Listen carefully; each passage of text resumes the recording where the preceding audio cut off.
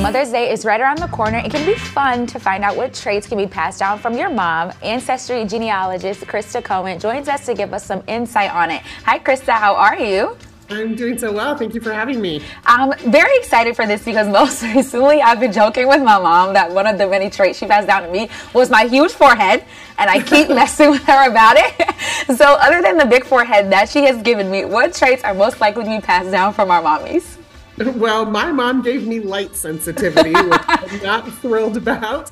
But if you've ever heard that maybe you have your dad's eyes or mm-hmm. your mom's exotic palate for food, or if there's something um, that you don't like or something that you love, you just might be able to credit a specific parent, whether it's a physical trait you can see or a behavioral or personality trait that you can't see. DNA holds more information than a lot of people realize.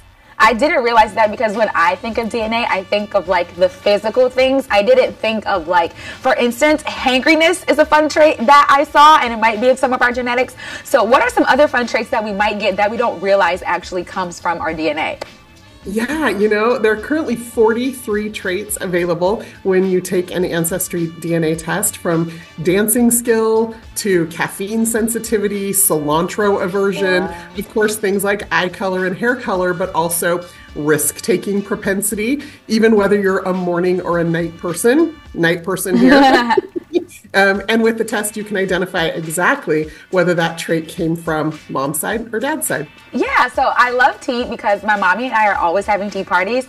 But how much of us like loving something is us being exposed to it, and how much of it is responsible for the DNA portion of it? Yeah, that's a great question. We can see things in your DNA that would give you a propensity towards something, but you're correct. Your environment then plays an additional role in that. So there are some people who, for example, have a, a, genetic propensity for musicality, but never learn to play an instrument just because they've never been exposed to that or had that opportunity. Yeah, so you talked about how you said your mom gave you um, light sensitivity. What are some other fun things that your mom gave you that you didn't really think about? You know, it's, it's so funny because I have to actually tell on my dad to explain this. my dad apparently has a gene that makes cilantro taste like soap to him. Okay. Which just breaks my heart because I love cilantro. Turns out my mom does too. what? I think it's crazy because one thing I love about I took the ancestry um, DNA kit and like my mom and I were looking at it and she was so excited to be able to see like I wonder what you got from your um, for me and I wonder what you got from your dad. So how can taking the ancestry DNA kits like bring our families closer together? Yeah, you know, it's such a fun experience. And I did this with my family recently where um, I have taken the Ancestry DNA test, both of my parents have tested, and I was able to compare with them. Mm-hmm but your parent doesn't have to test.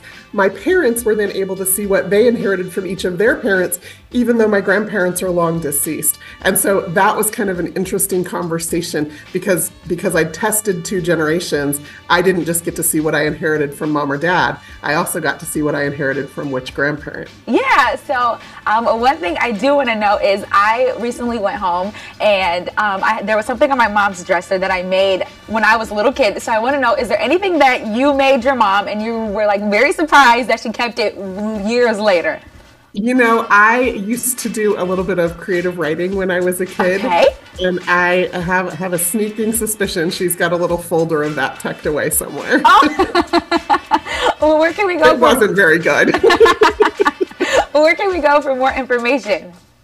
If you just go to Ancestry.com on any web browser or download the free Ancestry mobile app, you can order your Ancestry DNA Traits Kit and kickstart your family history process. Well, perfect. Thank you so much, Crista, for joining us today.